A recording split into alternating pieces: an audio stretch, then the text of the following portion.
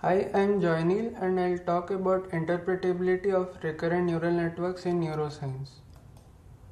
Functional MRI studies reveal that many cognitive, emotional, and motor functions depend upon multivariate interactions of brain signals. And decoding models use these brain responses as input to predict experimental manipulations or behavior. But our main goal is to interpret these decoders in order to infer the mental and neural processes underlying these brain responses. Brain data, for example, in naturalistic paradigms are becoming increasingly spatiotemporal. For such datasets, nonlinear decoders such as recurrent networks, RNNs in short, are becoming successful in decoding tasks. However, linear decoders are often preferred over these black box nonlinear techniques due to challenges in interpretability over the latter. In this talk, we show two ways to interpret RNN based decoders and hopefully uh, increase their usability. We use data from the HCP movie watching dataset where 15 different movie clips including Star Wars, Home Alone etc. were shown to 176 participants. Our decoding task is to predict the movie clip from a participant's response. For this task, we employed an RNN based decoder. We have our input sample consisting of responses from n different brain regions during t time points.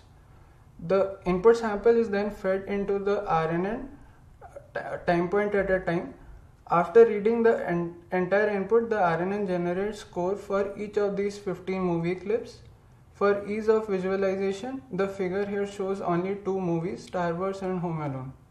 Finally, the RNN predicts the task condition with the highest score. In this figure, RNN predicts Star Wars because it has the highest score among the two. Our first approach of interpreting RNNs is lesion analysis. Studying lesions has been a fundamental approach in neuroscience for finding which brain elements are causally involved, involved in cognition and behavior. In our case, we use lesion groups we lesion groups of input features by masking their time series to 0 before passing them into the decoder. The key idea is that set of important features when lesioned would cause a greater drop in decoding accuracy. In this figure, we lesion the first two regions highlighted in gray. This lowers the Star Wars score from 0.74 to 0.48 and therefore alters the final prediction. This indicates the importance of those regions for the movie prediction Star Wars. In results, we first lesion regions on the network level. The orange line in the figure shows accuracy without any lesion. Lesioning the visual, somatomotor, and default networks produce the largest drop in decoding accuracy, which shows that these networks are important at differentiating movie stimuli. Lesioning other networks didn't produce any accuracy deficits. Similarly, within the visual, somatomotor, and default networks, we found important subnetworks by lesioning each of them.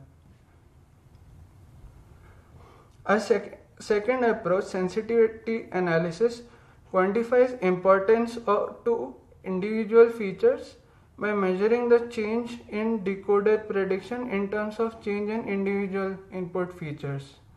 The key idea here is input features which are more salient are more salient if the decoder's prediction is more sensitive to changes in their values. Let's see this mathematically.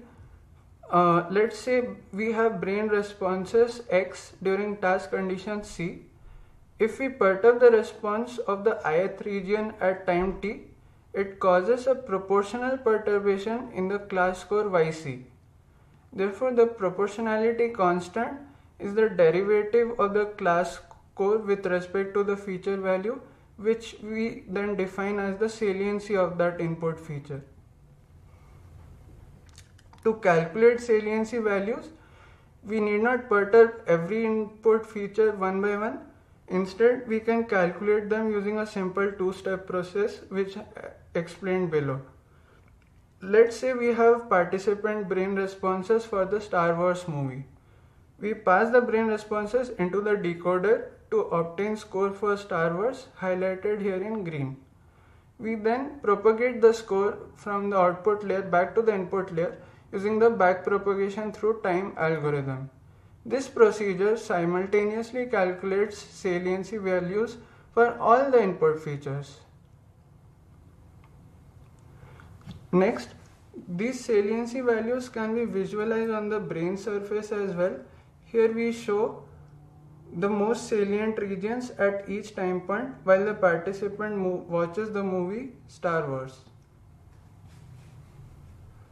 Both saliency and lesion analysis help us highlight brain regions that are important for predicting task conditions. To relate the two, we tested if regions with higher saliency values should have larger effects on decoder prediction when lesioned. To test this, we sequentially excluded regions progressing from the highest to the lowest saliency values and found that prediction accuracy decreases sharply after excluding the most salient regions. Together, saliency and lesion analysis can uncover sets of regions that are important for the decoding task and our results on movie clip classification suggest that nonlinear decoders such as RNNs capture meaningful patterns from the data. Among some challenges, it is practically infeasible to lesion all sets of regions and voxels. Therefore, we need smarter ways of finding sets of important regions or voxels.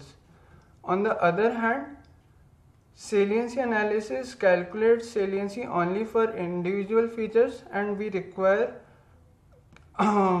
ways to calculate saliency for groups of features.